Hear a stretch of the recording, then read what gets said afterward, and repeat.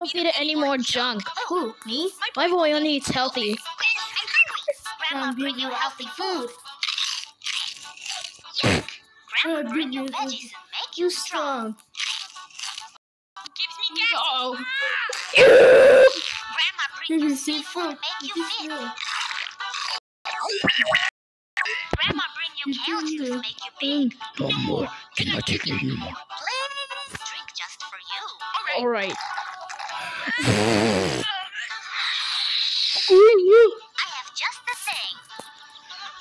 Screw Always there for my grandson.